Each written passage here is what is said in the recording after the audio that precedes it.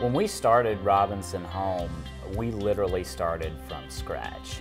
It was just an idea one night while cooking and I needed a double-walled strainer and it hit me that there's not a great place in Macon to buy a double-walled strainer.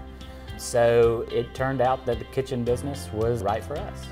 There's something really great about creating a business that's your own and sharing that with everyone.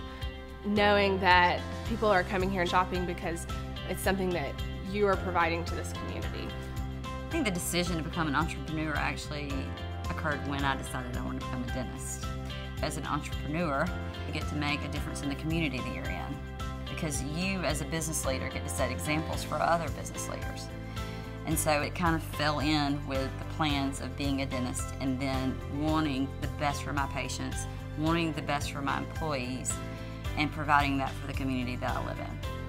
We have three restaurants, the fourth on the way, and a theater and a catering company, and really glad that I got in so early because all the efforts are starting to pay off, and you know we're starting to get some momentum and a lot of support from groups like Main Street Macon and College Hill, and there's still a lot of opportunity for entrepreneurs in this town.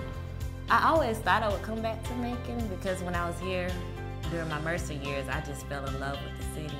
I tried to find something that would fit my career goals and the flexibility with scheduling that I wanted, and it came to the decision that I needed to start my own firm.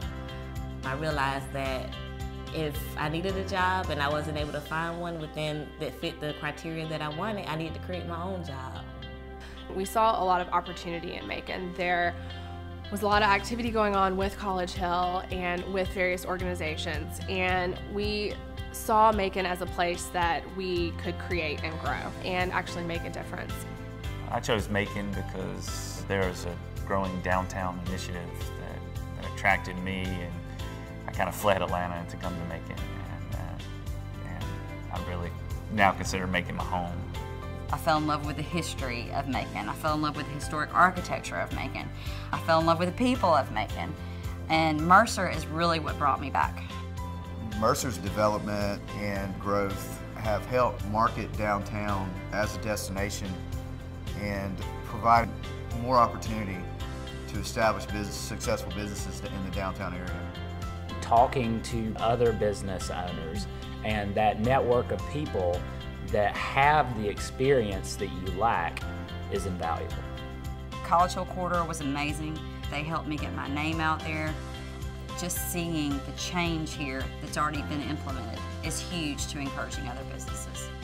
I think if our city government and other organizations continue to fund those efforts to beautify this area and welcome people to our city, it will draw businesses, it will draw people, it will draw more students, and all in all, it will be the best thing for the entire community.